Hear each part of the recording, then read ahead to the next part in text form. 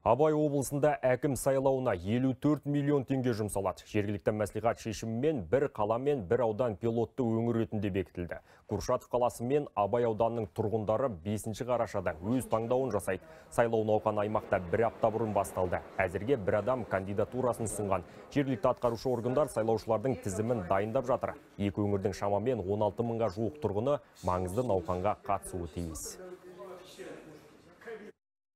В районе 13 избирателей. Абай ауданында 13, Курчатов қаласында 12 сайлау учаскесі тіркелген. Комиссия жұмысты бастап кетті. Бұл қанат қақты жоба әкімдердің жауапкершілігін сөз. Оларды халық сайлаған соң сайлау алды бағдарламасында берген уәдесін орындауға тырысатыны анық.